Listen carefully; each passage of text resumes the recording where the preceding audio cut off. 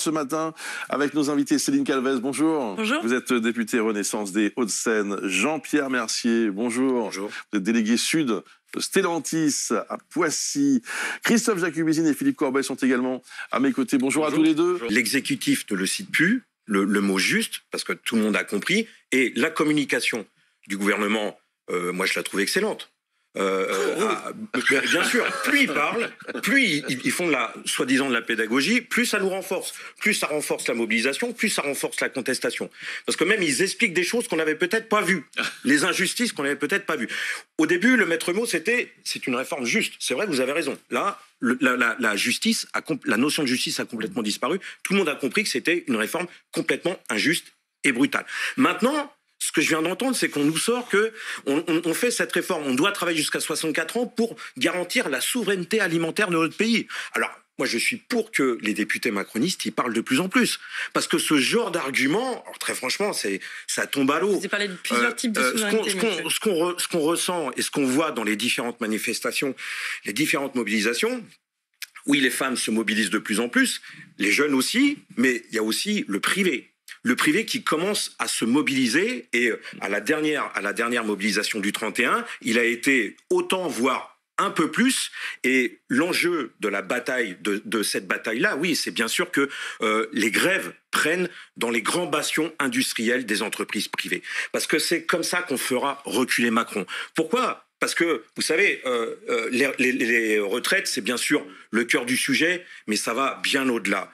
Euh, quand on commence les discussions dans les ateliers, dans les bureaux, dans les manifestations sur les retraites, ça commence sur les retraites et ça finit sur le pouvoir d'achat, ça finit sur les salaires, ça finit sur, les vie. chômeurs qui sont attaqués, ça finit sur les jeunes qui sont en précarité, qui arrivent même pas à décrocher un CDI. Ça, ça, ça finit sur ces milliards et ces milliards qui, sont déversés chaque année d'argent public dans les, caisses du euh, 440. Ça finit sur ces 80 milliards, excusez-moi, mais ce sont les chiffres, 80 milliards de dividendes euh, que- que- qu'ont touché les, euh, les euh, actionnaires du euh, 440. Et là, on rentre dans une période qui va être compliquée par- pour le gouvernement et le grand patronat. C'est qu'on rentre dans une période où les, les entreprises du 440 vont annoncer leurs leur, leurs bénéfices annuels pour l'année 2021. Et là, je peux vous dire, on le sait tous autour de la table, que ça va être record sur record. On parle de plus de 155 milliards. C'est bien, non de- Que les entreprises françaises fassent des bénéfices pour Alors- investir et embaucher des gens, non? Prenons là-dessus pour financer, payer l'ensemble des retraites de tous les travailleurs. Parce que moi, il y a quelque chose qui me choque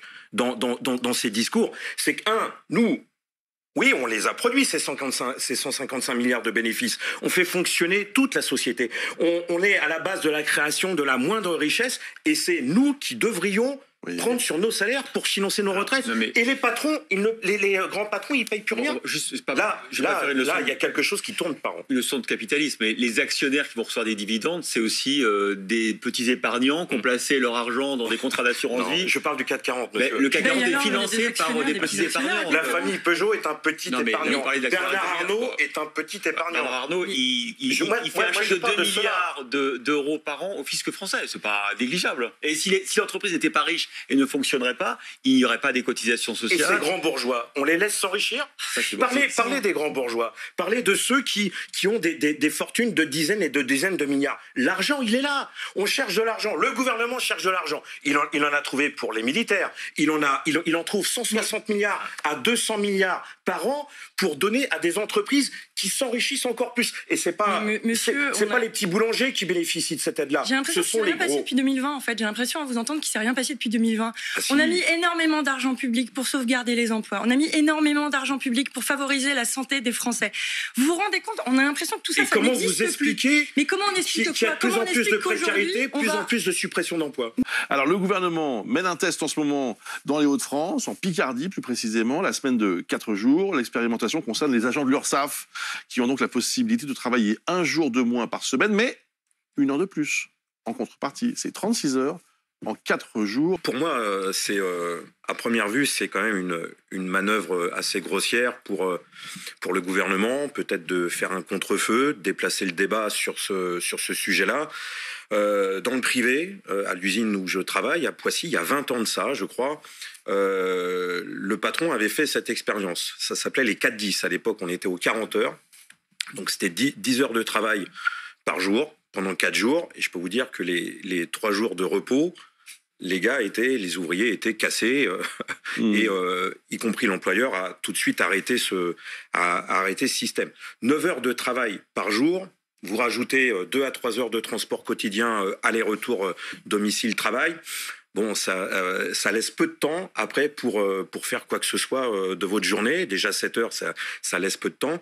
Euh, non, moi je, je, je suis absolument contre. Euh, D'abord, d'une part, c'est 35, c'est euh, 36 heures au lieu, au lieu de 35 heures. Voilà. Euh, non, si, si le gouvernement se préoccupe euh, des conditions de travail et de l'organisation du travail, c'est plutôt en baissant réellement le temps de travail, en embauchant en contrepartie. Combien? Combien d'heures par, par semaine, du coup, Ah, selon bah, vous? faudrait, faudrait aller vers les, vers les 32 heures, Les bien 32. Évidemment, bien évidemment. Mais euh, ça, ça, ça serait 32 sur 5 jours? Bien sûr. Après, après qu'il y ait des, qu'il y ait des aménagements, que les salariés. Moi, moi, je suis pour que les salariés décident eux-mêmes, mais pas sous la contrainte euh, d'un employeur qui, Bon. euh, qui oblige quoi que ce soit. Bon, On est- oh, c'est- 9 heures. 9 heures de travail. Non, mais ça dépend c'est beaucoup. On parle, on parle, des- on parle là de, C'est de, beaucoup. euh, travail dans les bureaux avec des horaires normaux. Bien Enfin, sûr. euh, dit, euh, dit euh, normal. Euh, euh, quand vous rajoutez vos, vos deux heures de euh, deux à trois heures de transport, je parle pour la région parisienne, aller-retour, il vous reste quoi dans la journée? Et je voudrais, je voudrais quand même rebondir sur sur l'aspect du volontariat. L'aspect du volontariat, on nous met, on nous vend ça au départ, c'est le volontariat, comme le télétravail. Suite au Covid, Mhm. alors là, il y a eu des accords en veux-tu, en voilà dans les entreprises. Je travaille dans un grand groupe industriel où le, télétravail, effectivement, l'employeur était très réticent avant le, avant le Covid. Et après le Covid, il y est allé à fond. Et c'est 4 jours sur 5, le télétravail chez Stellantis aujourd'hui. Et quand c'est au volontariat, mais c'est un volontariat entre guillemets, avec 10 000 guillemets, et ça devient même du volontariat obligatoire. Vous avez une telle pression de la hiérarchie pour signer votre avenant au contrat de travail, parce que euh, sinon, euh, sinon ça marche pas. Et donc le volontariat, c'est vendu au départ, mais en fait, Mm. euh, très Alors, rapidement, c'est plus du volontariat. je voudrais demander au,